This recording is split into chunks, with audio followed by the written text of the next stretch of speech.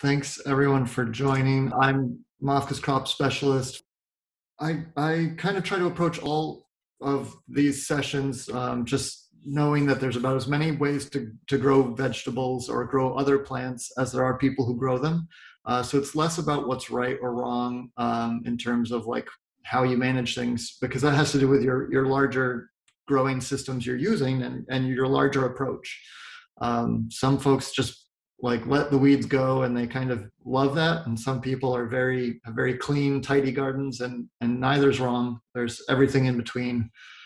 Um, so that's just to kind of give you an idea of my approach that i'm more just giving you some hopefully some tools in how to think about diseases as they affect your your own garden. Um, mostly i focus on vegetable plants but the same practices and principles um, should apply to pretty much any plants uh, that you're trying to grow.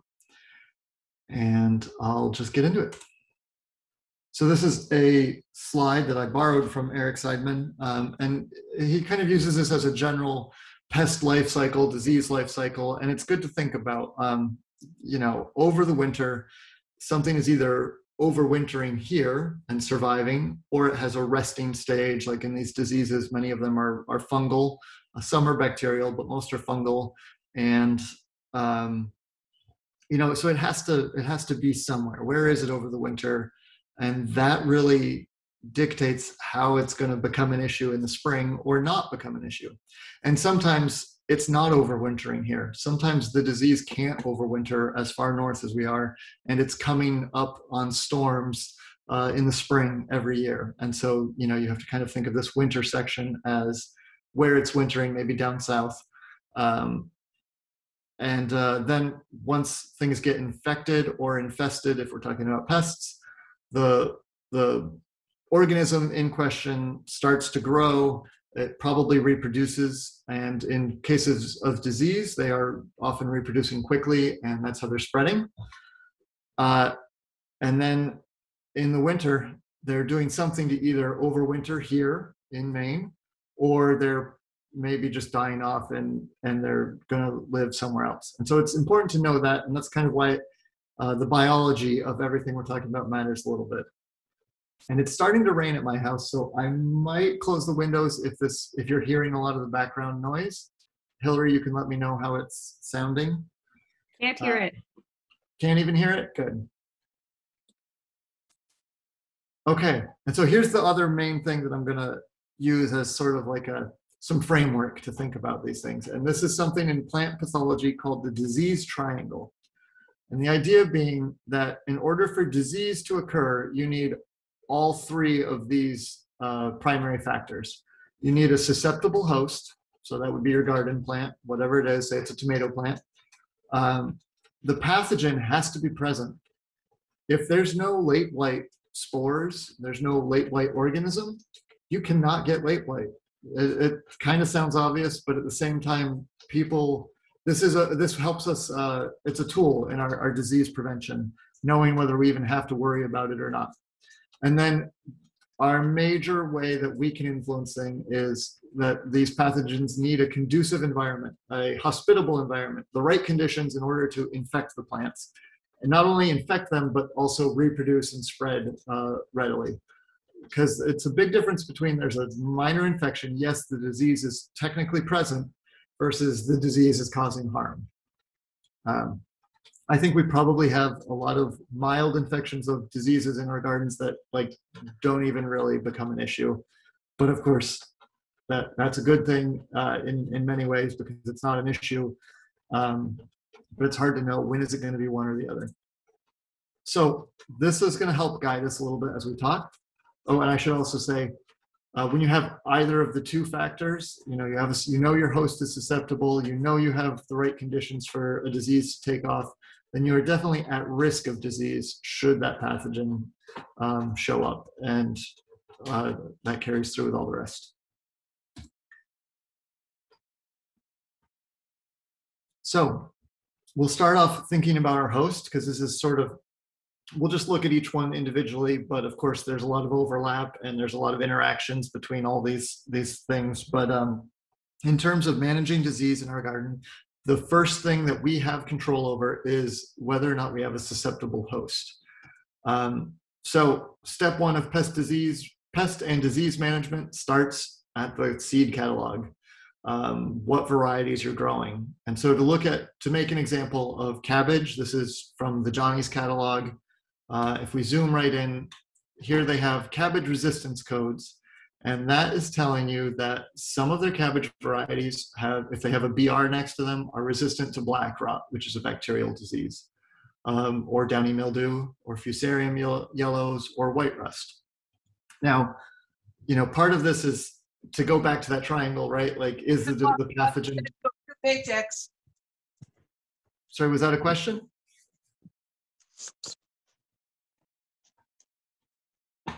Oh, I think maybe it was just an accidental unmuting. Um, Thanks, Thanks, Gil. Yeah. So to go back to that triangle of whether a pathogen is even present, white rust is sort of not really an issue here in New England. It, it might be present, but I never see it on farms or get calls from gardeners about it. So you don't really have to worry about having a white rust uh, resistant cabbage variety, for example. Johnny sells to growers all over the country. Some places there may be an issue with white rust. Um, and uh, so if we look at this variety capture, it's F1, that means it's a hybrid variety. That's a whole other conversation.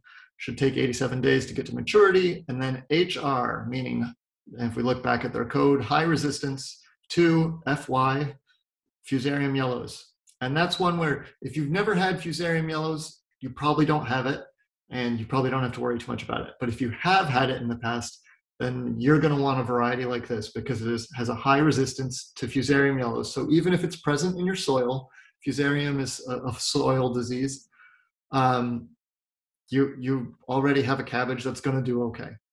Um, and then IR, intermediate resistance to black rot. So if you've had black rot issues in the past, um, you know, this is one that, or if you're a new grower, and you just want to make sure you have good success, it it doesn't hurt to have a variety that has more resistance. And then as you start to get the hang of gardening and growing, you can start to branch out into other varieties. You know, they may not be as disease resistant, but maybe you've got a good system in place and it's not as much of a problem. Um, whereas, you know, this other variety up above, you can see it's only resistant to Fusarium yellows, not black rot, et cetera, et cetera. Uh, another way to think about these things is what what crops are you good at growing? If the, every year, you know, some very experienced growers say like I just don't grow fill in the blank because they just don't have the system down or it doesn't work with their personality to give it the type of care that it needs you know their schedule maybe they're too busy and they only garden on the weekends and they can't be there to do something that needs to happen more regularly that some crop demands that's another way to think about are you growing a susceptible host? Basically, are you setting yourself up for success? What works well for your garden, your personality, the time you have?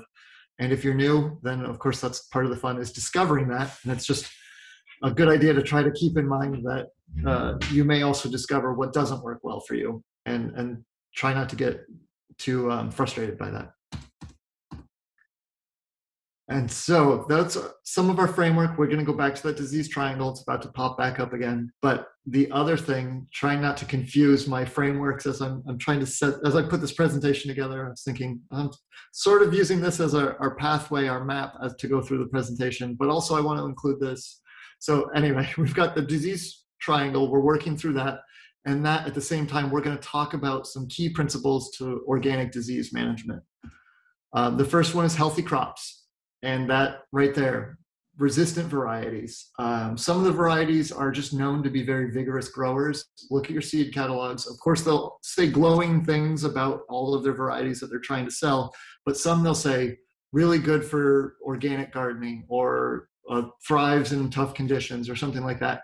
And that's a hint that this is a variety that is very vigorous and is going to be uh, a fighter. You know it's going to it's going to keep growing. It's going to have a strong will to live. So if you're new or if you've had issues in the past, those are usually the ones you want to go for. And then healthy crops, of course, also means all the other things we talk about with gardening that we're not talking about today, but proper fertility, um, getting a good seedling set up so that it, you have something very healthy and vigorous growing, having healthy soil, uh, um, uh, good good bacteria in your soil. Essentially, is what that boils down to. Uh, et cetera, et cetera, et cetera. All these things. We want healthy crops because they are going to be more resistant to disease. I do see this discussion come up a bit, and people feel like because they have disease, that means they had unhealthy crops and they maybe had unhealthy soil. And you know, it's more true in the direction of unhealthy crops are more susceptible to disease than it is saying trying to follow that back and say I had disease, therefore I didn't apply enough fertility. That may be the case, that may not be. You know, sometimes a disease is present and there's really no stopping it because it's the environment is so perfect for it or X, Y, or Z. But all that being said, a long way to say yes, the healthiest plants you can get going, try to try to get them started good, and they will uh, be stronger to fend off disease and pests. So let me go back to our pathogen presence, and uh, that that is one of our other principles of organic growing is crop rotation. Um, and so you don't have to, please don't try to read this, but this is just to kind of break down flowering plants. Those are the ones we, we work with. Their big division is monocots. Those are grassy type plants, um, corn, onions, asparagus. That's a, a, whole group of plants, and they're not very closely related to dicots, which are sort of our broad-leaved plants. And that's like everything else you grow potatoes, tomatoes, peppers, squash, um, things that have big broad leaves typically. Uh, and then within those, so yeah, alliums, uh, they're going to be somewhat closely related, more closely related to asparagus than they are to tomatoes. Brassicas, broccoli, uh, cole crops, cabbage, beets. So they're somewhat closely related, but they're separate. Those are separate groups. Um, and so the reason we do crop rotation is that a disease that affects brassicas, if it's really specific to brassicas, is not likely to infect beets. Um, there are some generalist diseases that kind of get into everything, but there are others that are very specific to one family of plants or sometimes two families of plants. Um, so we kind of lump our, our crops into their, their families and that helps guide our rotations. So you know, if you grew brassicas here in one plot one year and you had a disease like black rot, you can grow carrots there next year and not worry about the black rot because black rot doesn't get into carrots, at least not the same way. Um, and so that's one of our principles is good crop rotation. And it can be really important for it depends on the disease. A soil borne disease um, very important. Uh, something that's coming from the south. Like I said, some diseases overwinter far away and they just blow in. Your crop rotation doesn't really matter uh, because if it's just blowing in anyway, does it matter if it blew into that garden plot or that garden plot? It's, it still finds the susceptible host. Good weed control, that ties in with crop rotation. Some of our weeds are in the same families as our crops, and so they can be an alternate host for a disease.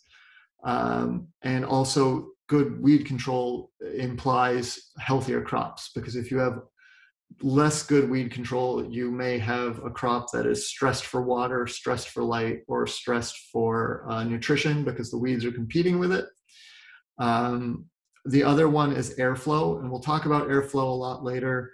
Uh, but if you have a big jungle of weeds around your, your vegetable crops, you do not have much air movement. And so all those plants are trapping moisture in the area. Uh, sanitation, old crop debris, crop residue, um, last year's squash plants, if you leave them in place, they may, if they were infected with something, it may be overwintering on it and then next year you plant squash maybe in the, the garden bed right next to it not even in the same bed but it rains that disease produces new spores and it's a lot easier to just jump that 10 feet than it would be uh, if you had composted the, the old squash plant or something like that. And that again it varies crop by crop how much or sorry disease by disease uh, how much of a concern that is. So that's another plug for like know the biology of your disease, or at least look into it basically. And that's not to say you need to know the biology of all diseases. Just if you take it one by one, you have an issue with powdery mildew this year. Okay, that's going to be the disease I learned about this year. And next year I'll I'll figure out what I'm learning about. Because uh, you don't have to become an expert, you just have to get to know what's become an issue in your garden and, and how to prevent it. Uh, and then barriers. This is usually considered more for pest control, but it can be important for disease control. And we've got one like really clear, brilliant example um, that is pretty common in a lot of our gardens.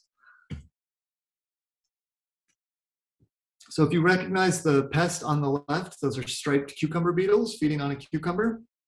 And they cause damage on their own, right? That's an issue that they're they're defoliating the plant. There's less leaf area.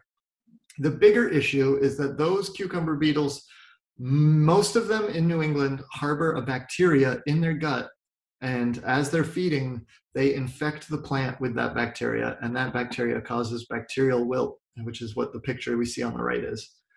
And bacteria are very hard to bacterial diseases in general are very hard to fight in plants can't just use antibiotics and that wouldn't be allowed in organic growing anyway um, it, it really once the plant's infected especially with something systemic like this like bacterial wilt there's not much you can do other than rip up the plant so our main control strategy is to not let the cucumber beetles infect the plant and some some plants, uh, and I should say, speaking of crop rotation, this is only an issue with cucurbits.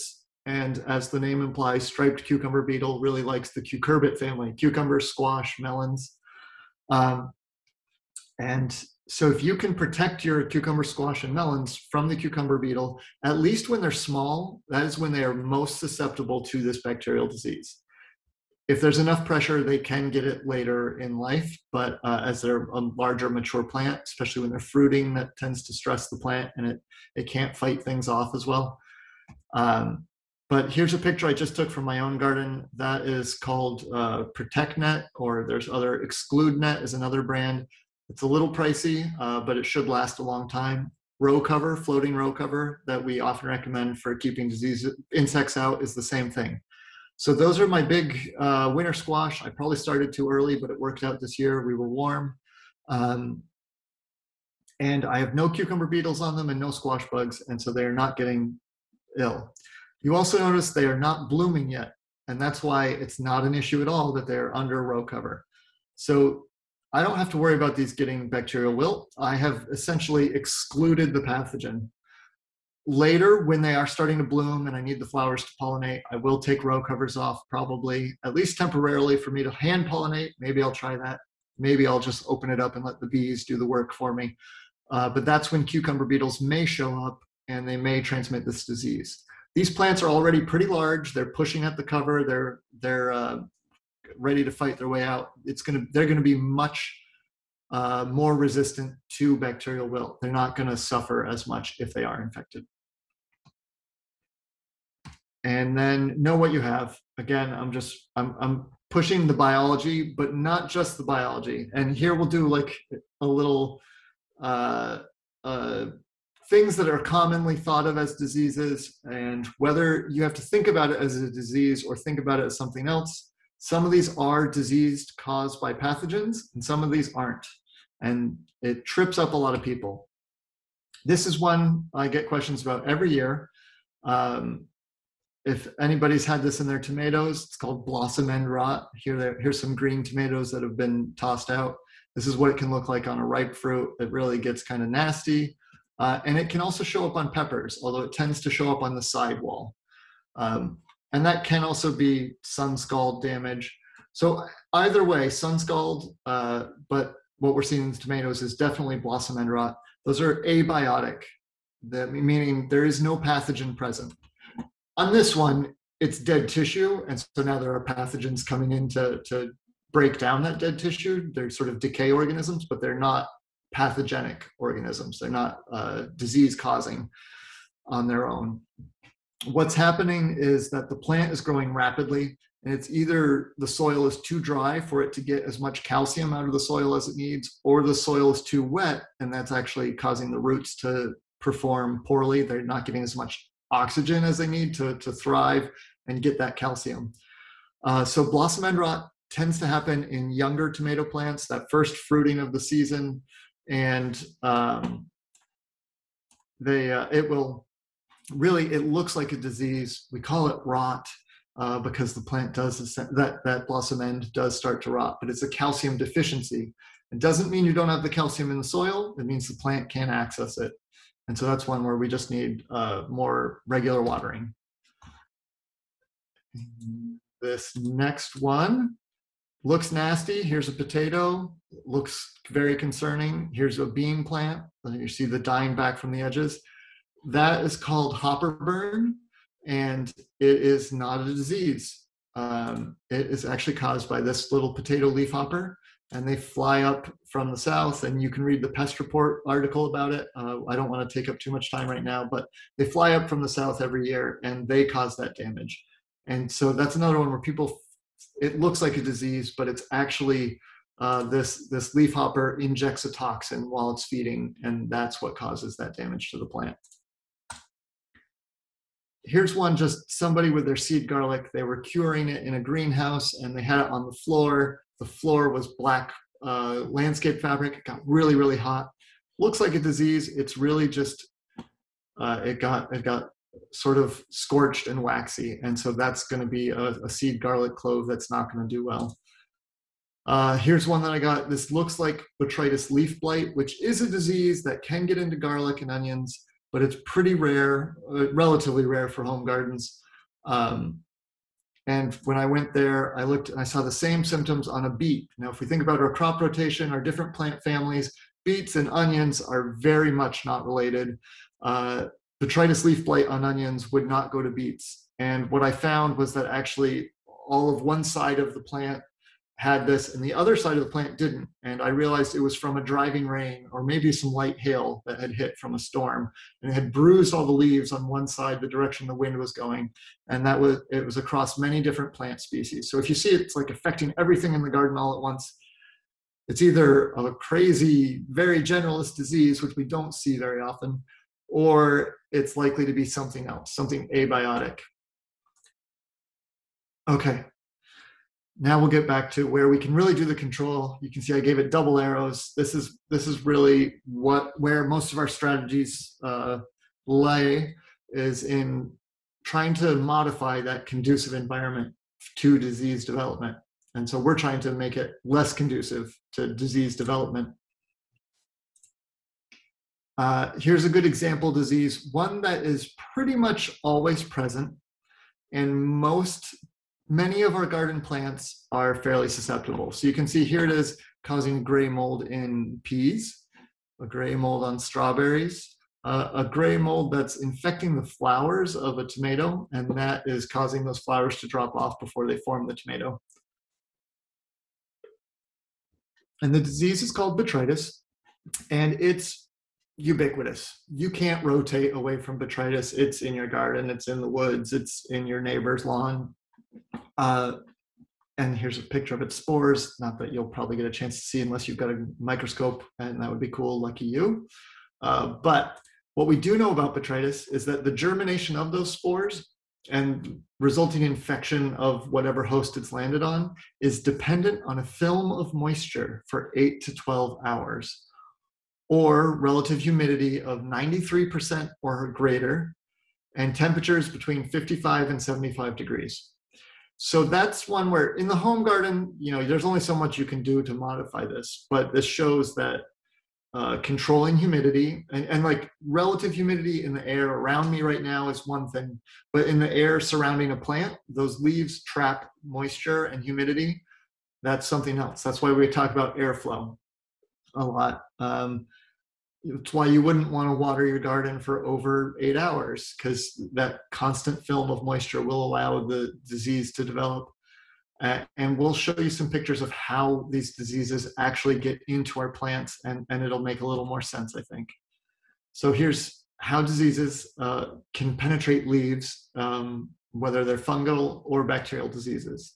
If you have a wound in your leaf, see these little, these are our, our plant cells uh, you've got a, a, tear in there. The fungal spore germinates and mycelia kind of go in through there. Here's bacteria reproducing in water and they're spreading and they go into that wound through there. Uh, stomata and we'll show you a picture of those. Those are little holes in leaves, typically on the bottom of the leaf, that the the leaves uh, exchange air through. So when it's it's they can't breathe, they don't have muscles, but there's air going in and out of those leaves. Um, moisture goes out, and it it's they're very important to the plant. That's how carbon dioxide goes in and oxygen comes out with photosynthesis. Uh, but they are also an opening. So it's it does have some control. It opens and shuts during the day and the night for the plant to be able to do its normal growing. And here you can see, well, these little things are, are bacteria just living on the plant surface. This is a fungal spore that has germinated and the hyphae went right in there. If and here's an, an, up close shot. If there's no moisture, that spore can't germinate and grow that far. Um, and that's the, the trick. Uh, are just another opening in a plant. They actually are how plants uh, remove excess moisture. So up on the top of this leaf, we see morning dew on the edge, we see these big droplets. That's actually water that came from inside the plant and got pushed out. And because overnight they're not photosynthesizing, they're not using water, they get too much water pressure buildup and they have to get rid of it. Otherwise, they would burst their cells. Uh, but if you then were working the garden and you happen to walk past a diseased plant, maybe you were pulling some diseased leaves off of it, and you walked past this, when you if you got bacteria on those droplets, it can get sucked back inside the plant. You know, when the sun starts hitting, the plant will start using water for photosynthesis and it will suck some of that moisture back in. And a disease that's present can go back in with it. And that's actually how black rot of, of brassicas uh, often gets transferred is through these. And so you usually see the symptoms on the edge of the plant. It's kind of a diagnostic feature. And then lastly, and this is what we're really worried about usually for a lot of our diseases, it's called direct penetration. And only fungi can do this. Bacteria can't really do this. They can't get through the, the leaf surface. But if a fungal spore is released into the atmosphere, it's blowing around and it finally falls down and it lands on your plant leaves on the top. There's usually not a wound there. There's usually not open stomates. Those are usually on the bottom. It's it's rare for uh, a a fungal spore to land right next to it.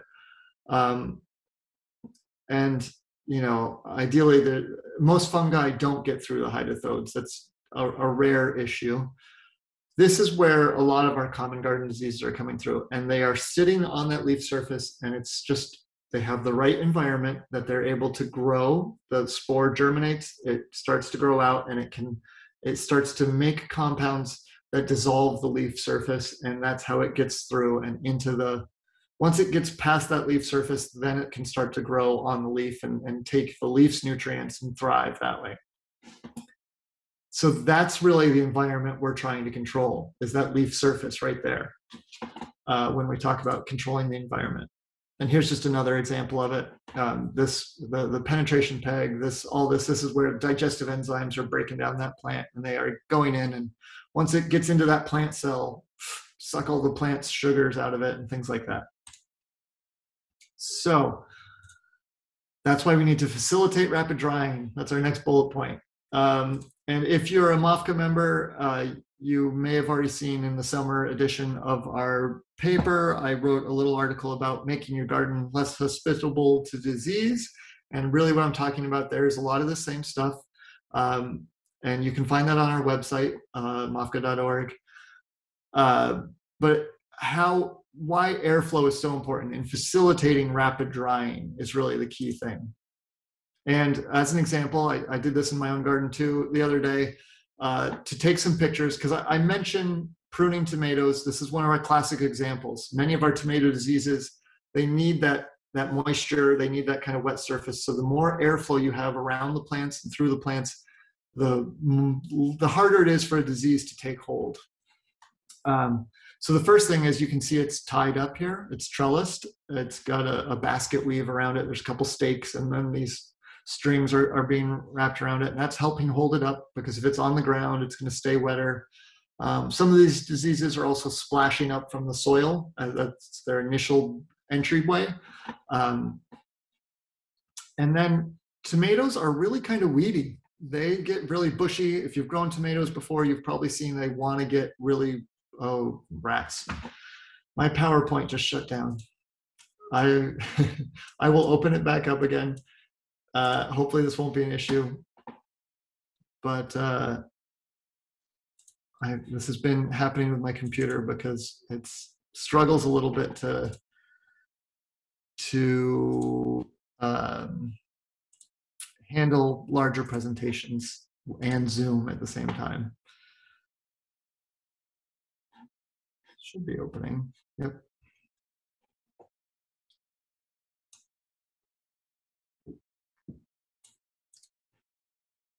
Okay, so you're getting a little sneak peek of what you're about to see. Right, so they get really shrubby, they get many different leaders that come about.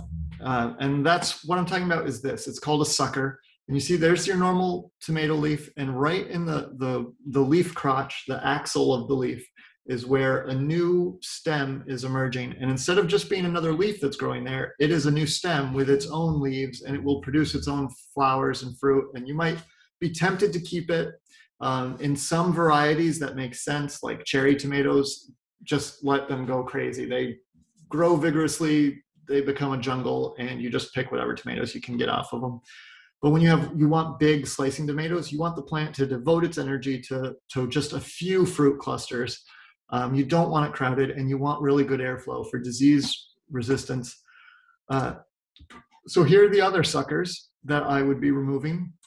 And then here, here's the same plant after I've removed those suckers. And you can see that you can see more of the ground underneath it. You can see why air is going to flow through there a little bit better. Um, here's another shot of another tomato. Um, I like to have two main leaders uh, lots of, like I said, there's lots and lots of different ways for people to grow tomatoes. So here's the primary stem, um, and there's the first fruit cluster. So that's going to be my first set of fruits on that, that tomato plant. And then this is the first sucker below that first fruit cluster. That's the one I like to let become its own stem. And so now I have one plant, but two stems. So it's like two plants in one set of roots. Um, and that tends to be the sucker that is most vigorous. The plant naturally wants to let that one go for some reason. Uh, whereas you can see these other ones down below are smaller and given time, they'll take off and it'll become just a shrub instead of a, an upright tomato plant. Uh, here it is after pruning. So you can see looking at that bottom, again, there's just gonna be better air movement down there. Um, and what you do after the first fruit cluster depends a little bit on your type of tomatoes. And that's uh, for further discussion, I don't want to spend too much time, but uh, yeah, again, here's that same fruit cluster and the same secondary leader. Um, actually, I can maybe take a moment here. Are there any questions so far? How's everyone feeling?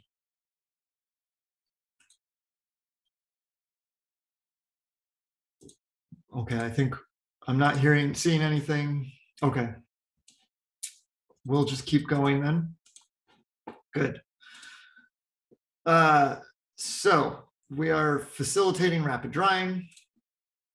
And then uh, I won't be mentioning pests today because this one, this talks primarily about uh, diseases. I do think we have, we may have some previous pest talks that are in the, uh, somewhere on our YouTube channel. I don't know, Hillary, maybe you can dig up one of those.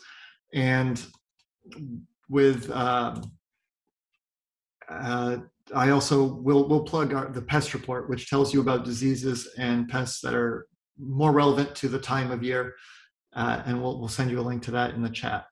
And so I see a question about do you leave the leaf when you sucker prune? And yes, because those leaves are feeding your plant. So down here, this is the leaf that is left behind, and the sucker has been removed. Okay, so biological control. There's a couple ways that this works. Um, and uh, one of those is that you may actually have direct competition on the leaf surface. You may have good bacteria that are living on that leaf. And so a fungal spore lands and the good bacteria just eat it. or you may have good bacteria and good fungi in the soil. Hopefully, you do. Hope you have a good, healthy soil, maybe some good compost you've added. And the plant, there's a couple things that can happen there. The, the good fungal growth can invade the roots and actually help the roots get nutrients, but they are also protecting the roots from bad diseases, bad fungus, bad bacteria. Um, the other thing is just the presence of microbes around them spur plants on to create better defenses, even if those microbes aren't attacking them. Just the it's sort of like there's a few signals that the plant gets and goes, oh, there's microbes. I better make thicker cell walls and things like that um, that are, are more resistant. Um, and biological control also goes back to this first bullet of healthy crops. I like to recommend to commercial growers a one product uh, called Root Shield. And it's not that it has to be this product, it's just the name that I remember the best. There's other ones like it, um, and it's a, a beneficial fungus. They add to their potting mix, and that infects the roots in a good way. It's protecting them from damping off diseases, and that gives you a healthier plant going into the field. But it also is a biological control because that fungus will actually eat some of the the disease-causing ones. Um, biological control, we usually use those that name more for pest control, and that's like uh, beneficial parasitoid wasps and things like that that eat other pests in your garden, which we're not talking about today. Uh, botanicals, um, like neem oil, and uh, that's one that it can have some disease uh, suppression, not suppression, I should say uh, prevention. Most of our disease control we are we can't do much after it's already infected a plant. What we're trying to do is intercept that spore before it actively in, infects and we're trying to con- change the environment on the leaf surface. And so neem uh, gets applied to a leaf surface and it would it would change that environment a bit it may also spur the plant on to for some of its own di- di- uh, disease resistance and then we start to get into synthetic chemicals. And um, that would include copper, uh, which some people don't like to use in the garden. I don't think it's too bad of an issue if you're using small amounts and you're following the instructions carefully. Uh, you're, you're, following everything. So many fungicide products that are organic approved have copper in it. Um, some have sulfur. And then there are some uh, oils, like horticultural oil, that sometimes get used uh, for some diseases. It depends a little bit on the disease, whether it's worth using one or another. Um, but again, like copper and sulfur, they are changing that environment right on the leaf surface at sort of a microscopic level.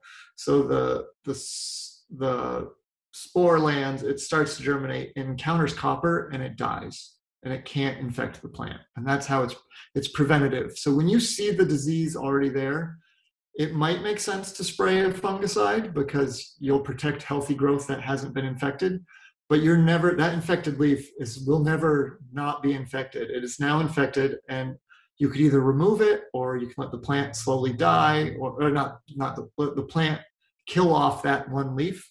That's kind of a, a plant's main immune system response because they don't have a true immune system. They really try to wall off an infected area and make really strong cell walls around it and then um, let that die. And and therefore the, the disease is stuck and hopefully can't spread throughout the plant uh, i should also probably pause here to uh, talk about in the pest report i try to give some distinction between what can be used in a garden and what can be used in a commercial setting um, and anything that can be used in a commercial setting you could use in your own garden if you were a licensed pesticide applicator, and that's something you would do through the Board of Pesticide Control. And it's really more than most people want to do for their home gardens.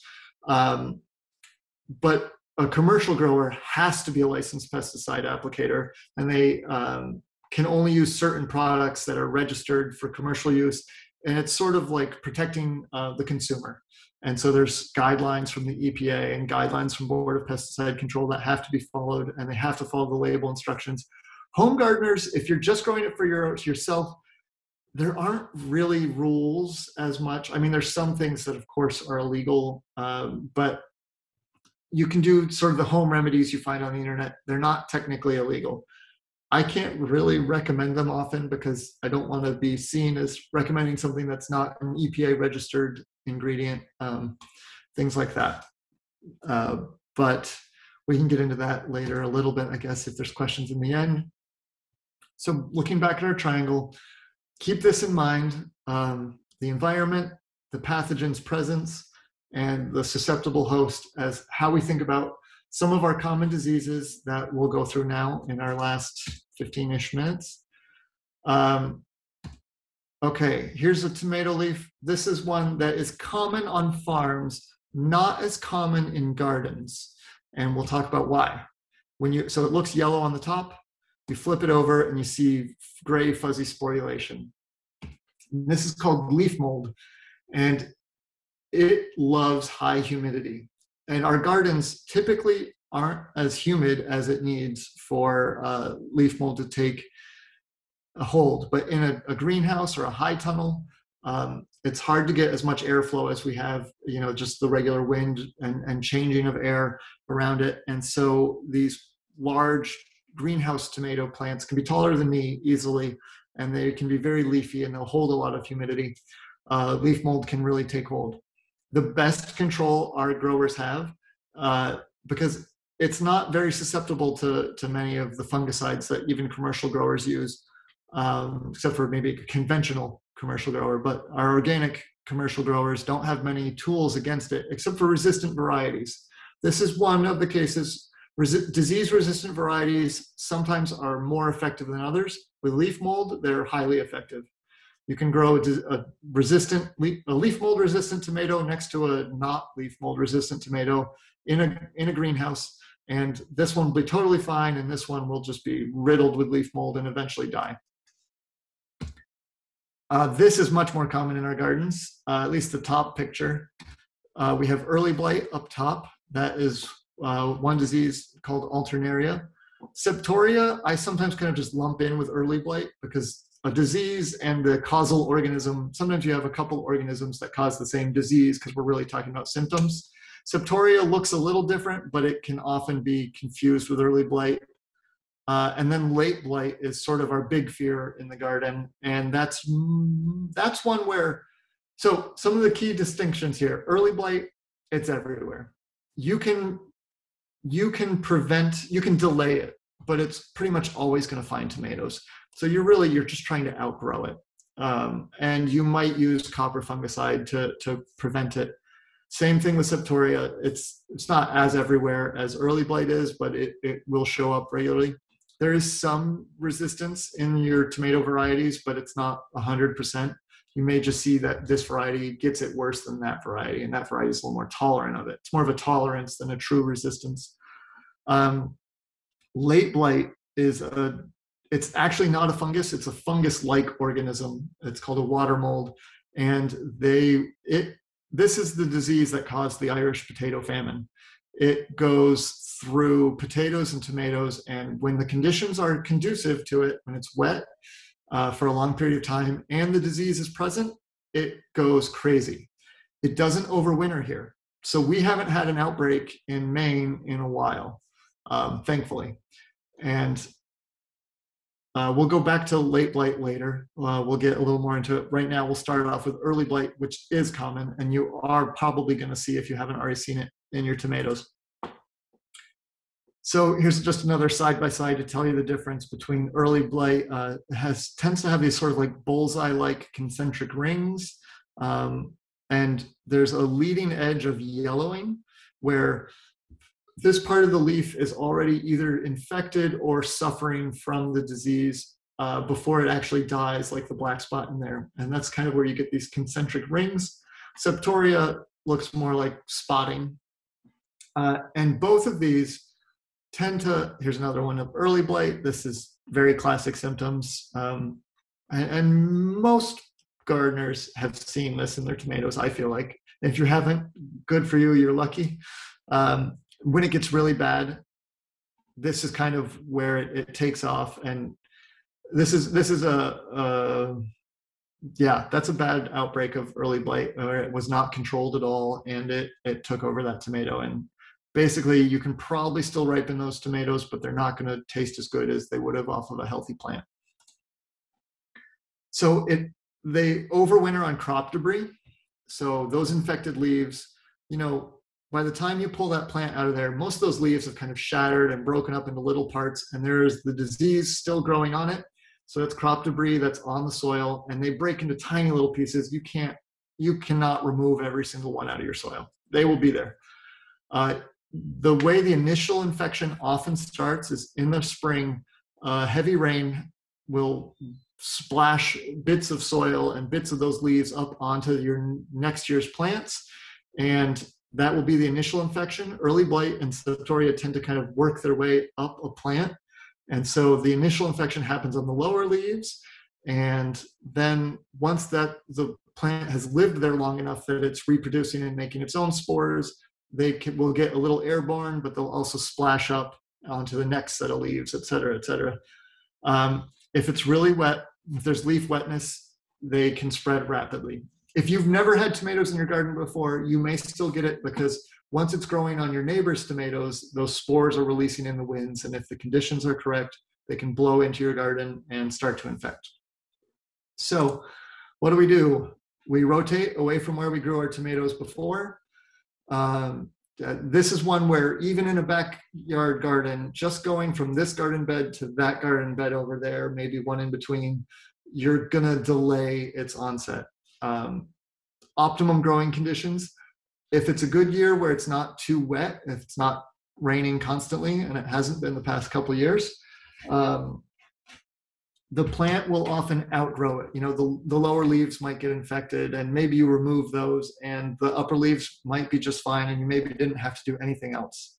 Staking plants, having them tied up so that they're upright, they're going to be, there's going to be more wind around there so they're going to dry off quicker. You're going to have less of that leaf wetness. Um, also, they're going to be away from the soil where that initial infection often occurs.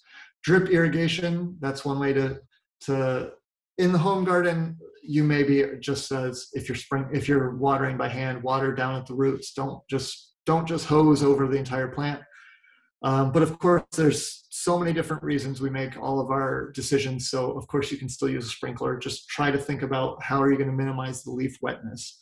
And i guess i didn't put it into here anywhere else but i did see a question about strategies for watering to minimize leaf wetness. The primary strategy is to do it in the early morning.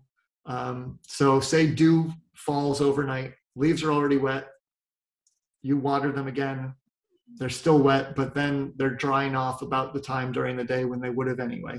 Maybe a touch later because you made them wetter. Um, if you're watering later in the day, try to water. We often try not to water in the middle of the day because it's less efficient use of water. A lot of it evaporates, um, blows away, or just evaporates from the sun. But if you're watering later in the day, try to water early enough that the plant can dry off before nightfall when dew is again going to fall. You know, they're not going to, if the leaves are wet and the sun is set, it's going to stay wet for a while. And that's when disease can really take hold. And of course, we can't control the rain. So sometimes that's going to happen anyway. This is one reason we don't see early blight as an issue in greenhouses because the leaves often don't have a wet a film of wetness on them. There may be high humidity, which that leaf mold would love, but early blight is not really an issue. And then mulching, if you have that crop residue in the soil and you know it's going to be the initial inoculum, you plant your tomato and then you mulch around it. Well, you reduce the splashing effect because water hits that and it doesn't have soil to splash up. As you may also be uh, sort of, depending on your, the thickness of your mulch materials, you may be capping in the spores that would be produced and would go airborne later. And then if you stake your tomatoes with wood stakes, it's always good practice to disinfect those, um, you know, like a bleach dip or uh, on a commercial scale, people use oxidate, which is like a hydrogen peroxide, but not likely to happen in a garden scale. Okay, here was the bad year. Yes. There was one question. Someone asked if you can stop the spread of early blight or slow it, I guess, by removing the infected leaves. Yes it, it helps to that will help to slow the spread okay. i wouldn't say that it would stop it unless the weather conditions were really conducive right if if the lower leaves had become infected, you removed them, and then it was a nice stretch of dry weather, and for some reason there were not many spores around. Mm. Uh, you know, you, it's a good idea to handle disease tissue on a hot, sunny, uh, a sunny, dry day. It doesn't have to be hot, but sunny and dry, so that things dry out. The UV kills uh, spores, things like that. So back to late blight. This is it, people often confuse early blight and late blight. Um, they're totally different diseases. Um, and 2009 was the bad year. And that was one where a company, a big box store that sells transplants to home growers, you know, like uh, one of those big hardware stores, uh, was buying in seedlings from down south. And the greenhouse that they were buying them from, the company, you know, one of these giant greenhouses, many acres in size, they had late blight in their plants and they either didn't realize it or they were being irresponsible and they shipped them all the way up the east coast and late blight spread from the spring. So late blight was early that year instead of being something that maybe comes up with storms over time. Uh, and it can just devastate a crop. It can take all of your tomatoes and all of your potatoes and turn them to kind of like mush in short order if the weather conditions are appropriate. Here's one of the the indicators is that it has uh, white sporulation that really helps show off sh- helps us diagnose that oh that's late blight that's not something else. Um, and here it is infecting tomatoes themselves. Um, of course maine being a big potato state it's a big deal. We don't want late blight here uh, and the only way, the reason it doesn't overwinter here normally is that it needs a living host. It doesn't, the late blight that we have here commonly does not have an overwintering stage. It is theoretically possible, but we've never had the overwintering stage here in Maine uh, that we know of. Um, so it needs a living host. So the only way it would commonly overwinter here in Maine is through infected tubers because that, that potato is alive and it will resprout. And so if you had potatoes that were infected and you threw them into the compost and then they didn't die in the compost because most home garden composts aren't like hot enough to to really kill things the way a commercial compost is. Um, you could potentially spread late blight all around. So if you if we get a late blight year, let's just tuck this in the back of your mind because you know, it doesn't look like we're getting it uh, this year, but it's still early days, so who knows? Um, but if uh, if late blight becomes an issue, just be very conscious of what happens with your potatoes because they might be infected, and you don't want to be the person that starts the spread of it the next year and is the reason why it overwintered here when it doesn't normally. So for commercial producers, they have to manage their tubers. We like in potato fields, they can actually the, the ones that get missed during harvest um, can survive and overwinter, and if they're infected, it could be a source. Uh, there is a late blight map. Here is the map from 2018. It got kind of close, New York State, but the rest of New England, all of New England did not get late blight. We didn't get it 2019 and we didn't get it 2020. Not not in any real sense anyway. Here's our current map. Um, there's no report in the country of late blight anywhere, which is great. This, I guess, is when I should plug the pest report. If you don't already get it, um, I have a weekly call with extension folks uh, around New England, and we talk about, you know, have there been reports of late blight yet? Um, have there been reports of this pest or that disease? And uh, that helps us track its spread. And we in Maine, being so far east and so far north, are actually really lucky. We're at the really lucky end because we can see it happen in Massachusetts or Connecticut, and then we get that warning, and we know that that's that's that that part of the triangle is the pathogen or the pest present. Then you have to worry about control. Um, so late blight, absolutely no reason to be spraying fungicide on your tomatoes because you're worried about late blight because it's nowhere near us. It's not coming. Uh, that's not to say it can't come, but as of now, it's not coming. So if you want that warning of it's getting close, sign up for the pest report. Uh, speaking of these maps, there's another one for down basil downy mildew, and that's one that did surprise us. It is already here, and it actually that same story about that that a large greenhouse company that sells plants to these big box stores. Um, they are suspected of doing the same thing with basil downy mildew, growing basil that is already infected with downy mildew, and these big box stores were selling them, had come up from the south. So now it's been found in New Jersey, Long Island, and even Maine.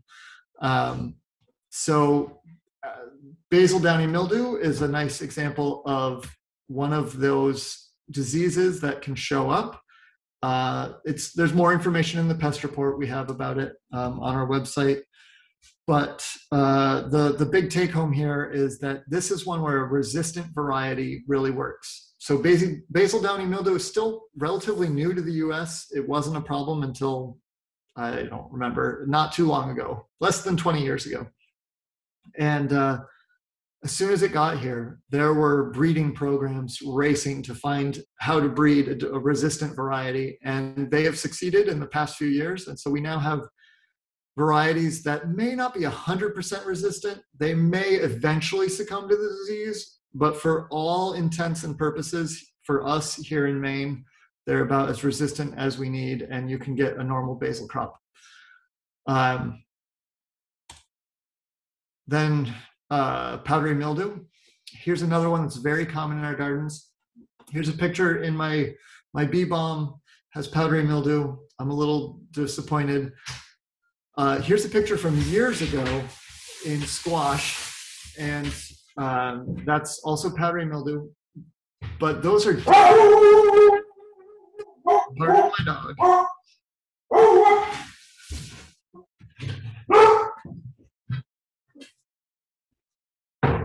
Okay.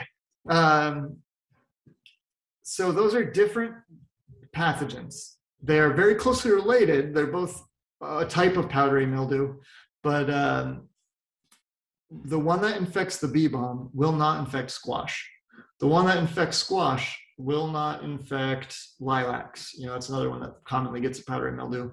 Um, there are many types of powdery mildew, and they tend to be fairly species specific. This type of powdery mildew only infects this one or two species. This one only infects this one or two species. So cucurbit powdery mildew, squash, cucumbers, melons. Um, this one in the bee balm, it probably has some alternate hosts. I don't remember them being an issue uh, or being common. I don't remember uh, I just know that I have it in my bee balm. It's probably going to keep happening to me unless I yank this plant out and plant a resistant variety. And I think there may be some powdery mildew resistant varieties of bee balm. Uh, in squash, there are some vari- some types of squash have been bred to be powdery mildew resistant. They haven't gotten those same resistance genes into every type of squash. So you know, you might find a butternut that is powdery mildew resistant, but that doesn't mean that you'll find a buttercup or an acorn. And that's just an example. I'm not actually, I don't know all the varieties that well, but often those varieties say, you know, the name of the variety, and then at the back they say PMR, and it should tell you in the description, but PMR usually would stand for powdery mildew resistant. And this is one where it's often not a true 100% resistance, but it's a, a, at least an intermediate or moderate resistance. Um, and with squash in New England, it's sort of inevitable. We almost always get powdery mildew, and it usually kills the leaves, but we still usually get squash crops out of it. And really, just a little bit of resistance is all you need for your plant to live long enough and keep those leaves green long enough for you to get a good harvest out of it. Uh, this picture is also one that I liked because here's a zucchini on the right and you can see it's really succumbing to powdery mildew. This is butternut squash on the left and um, they're different species, but they're closely related. They're both types of squash. Mm-hmm. And the butternut squash is showing much greater resistance. Um, it's not really being affected by the powdery mildew at all, even though it is that powdery mildew can infect it. It just is going to it needs a lot higher disease pressure and perfect conditions in order to finally get through all the defenses that that resistant variety has. Um, and then, oh, another picture I took this morning in my garden. I get this a lot, uh, a lot of new growers. Um, this is a normal zucchini leaf. There are some pumpkins that do this as well, but it can really, when you're when you're on the lookout for powdery mildew, it can, and you're a new grower, it often throws people off. Um, That's healthy. That's normal. That's not powdery mildew. Um, and I think we're, yeah, we're, we're running out of time, but I'm almost done. Spinach downy mildew is another one that's not super common, but it is becoming more and more of an issue. And we have some information in the pest report. I've written about it in the, the MOFGA newspaper if you want to dig up that older article. And I think my last slide is just how to reach me. Um, Instagram if you're interested, and our pest report link is all there. Okay, I'm gonna drink uh, some more seltzer, wet my whistle.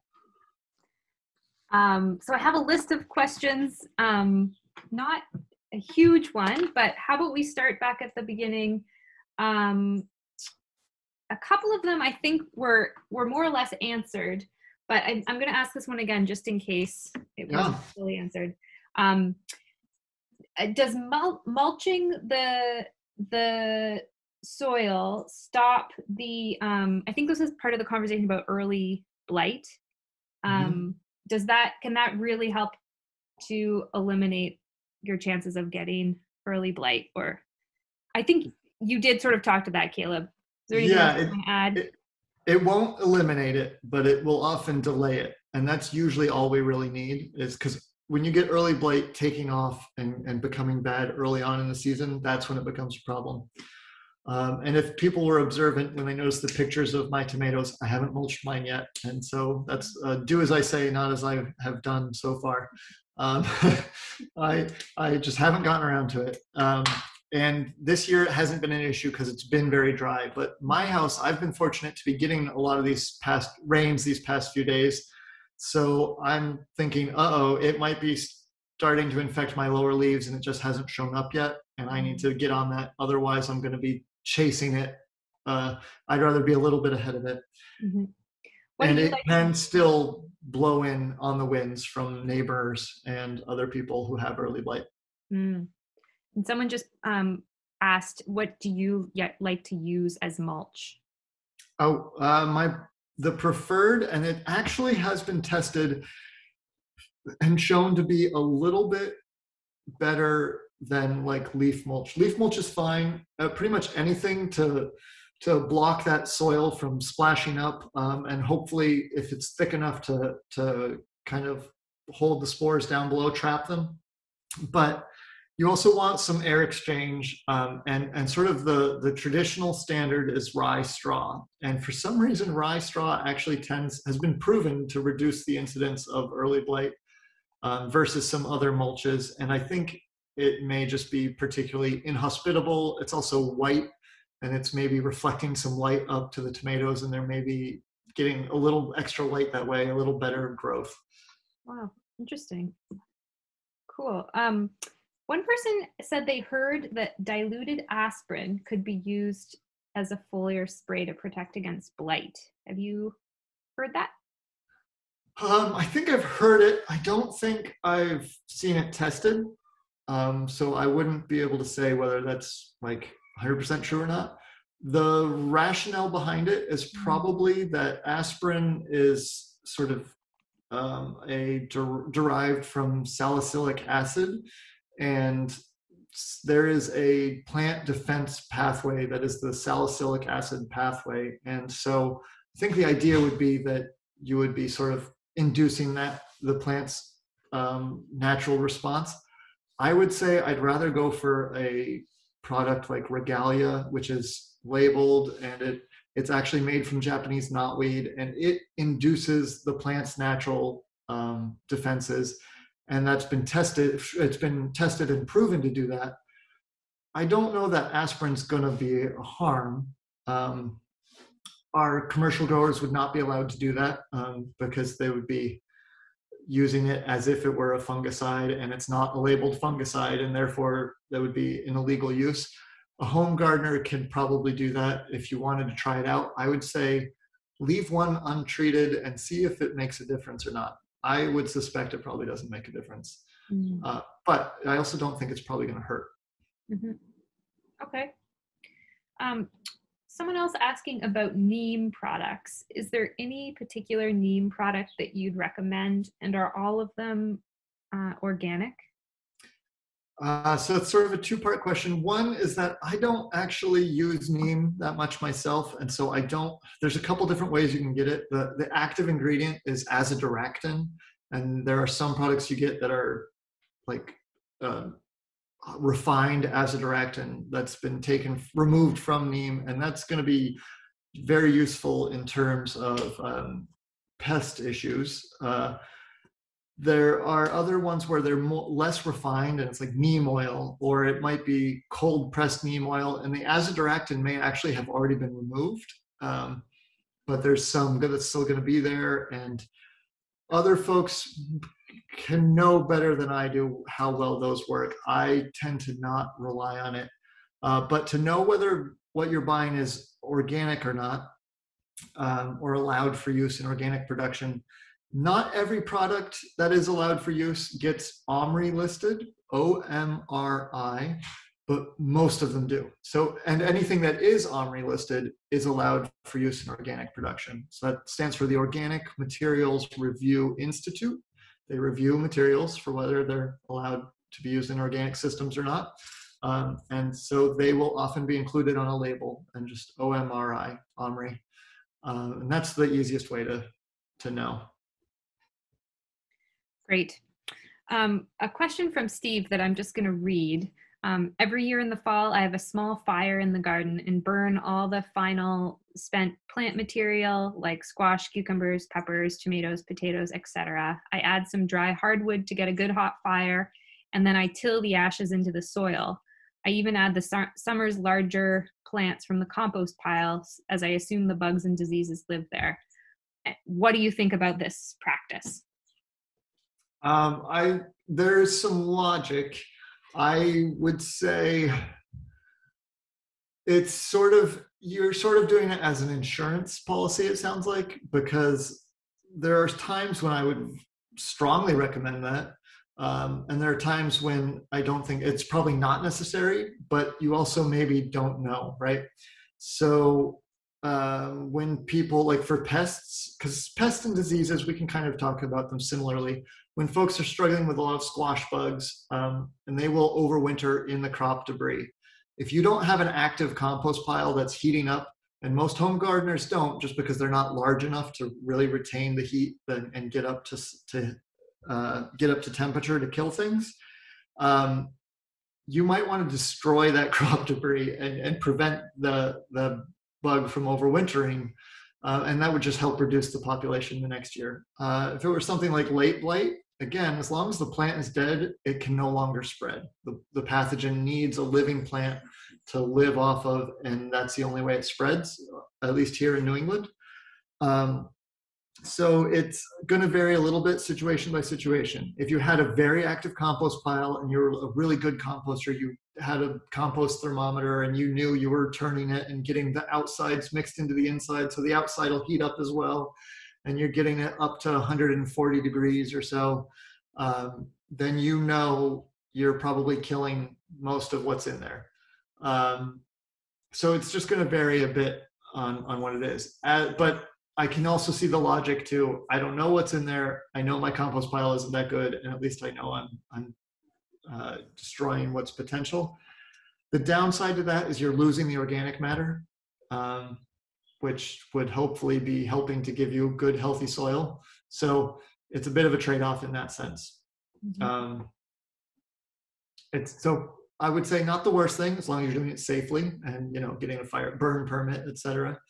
Um, but uh, it is, you know, my ideal world. We'd all have big, beautiful compost piles that heated up nicely. Of course, that doesn't. It's not easier said than done.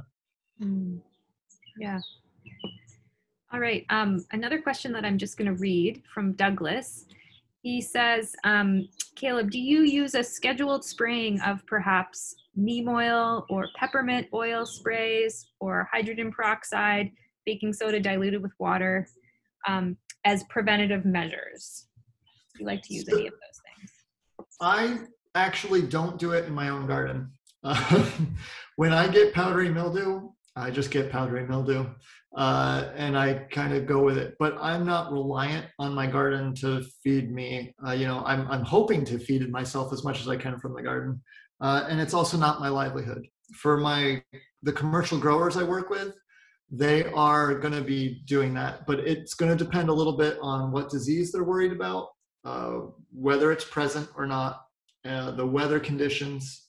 So when we're getting later in the summer, when our nights are longer and we tend to have dew hanging around for a longer time, and so you're more likely to have that water film or just high humidity, powdery mildew really takes off. And if you're growing acres of winter squash, you don't want to lose all your leaves to powdery mildew that's one that's probably the one in my garden that i'm closest to i might start doing like a baking soda spray because I, again home scale not commercial i can just use baking soda a commercial grower needs to use potassium bicarbonate which is almost the same thing as baking soda but it has an epa label on it and it has specific instructions. Um, and that's one that i would probably start to think to do. Um, i wouldn't worry just yet. It won't i'm not worried about powdery mildew showing up. I might wait until i saw the first leaves getting infected, I would probably remove those older leaves, tends to be the older leaves that are infected, and then I might consider spraying uh, my other, the rest of my squash to, to reduce the chance of the powdery mildew taking hold. And I didn't mention before, the way that works is the bicarbonate part of baking soda, which is sodium bicarbonate, and then a commercial grower uses potassium bicarbonate. So it doesn't really matter. It's the, the bicarbonate part is changing the pH of the leaf surface. And so that powdery mildew spore runs into a, a, an environment that's hostile to it.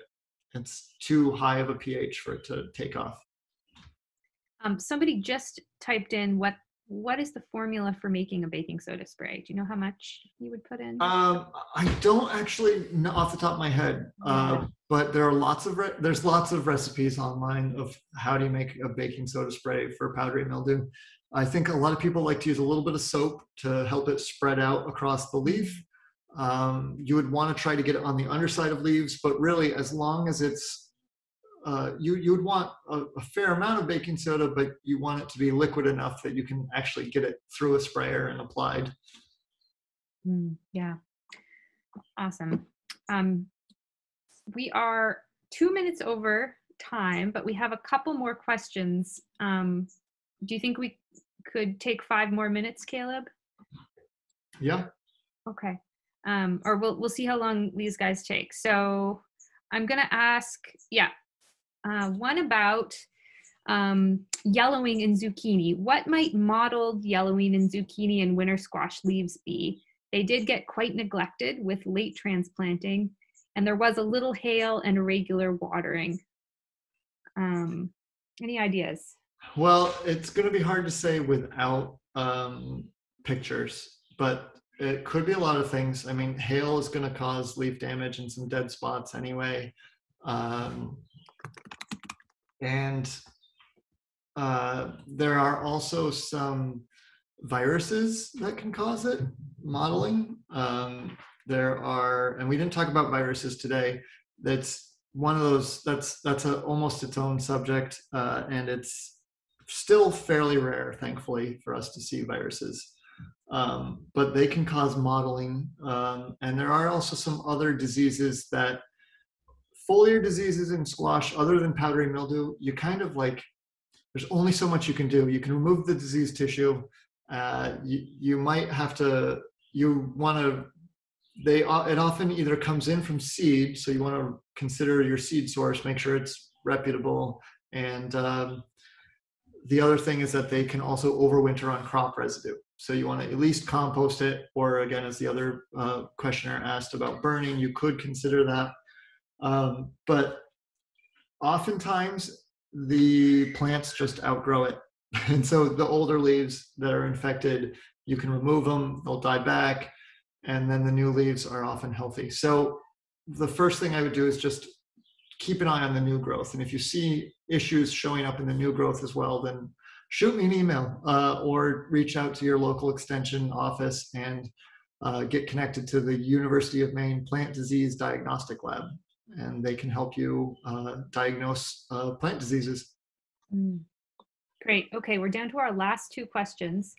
Um, the first one Robert asks Would a biological barrier work on the soil below the plants as a preventative measure during prolonged wet periods, or would these um, merely rinse into the soil? neem would be an example, or then he said perhaps a sulfur or copper application. So it sounds like this would be targeting a soil disease. Um, there are some biological products where they're bacteria, um, where they are beneficial bacteria that have been shown to fight um, fungal diseases. And those are sometimes applied as a soil drench or sometimes uh, mixed into potting mix. And then uh, you would plant that in, and that would help. I don't think neem is typically used in that way, although there may be someone who's using it that way, and I just don't know about it. Um, sulfur or copper is typically used to modify the leaf surface. So I would not, uh, it's not going to do much for you in the soil. Um, so you would, it's usually a foliar spray. Um, I would think that the only thing in that vein of, of thought would be a, a beneficial bacterial product. Um, mm. and there's many different brands and that's this is an area where we need so much more research to talk about like when is it actually effective is it effective at all how do we give it its best a chance of being effective and uh, prolonged wet periods it depends on if i mean you know like it's been raining every couple days versus the soil is a little flooded. And in that instance, there's not much you can do, and the plant is going to be struggling because it won't have as much oxygen at the roots anyway. Hmm. Okay, um, last question, and it, it relates a little more to pests than diseases, but um, we'll sneak it in here. Um, Hannah is asking about straw as mulch, um, particularly under squash plants. She's heard that that encourages squash bugs.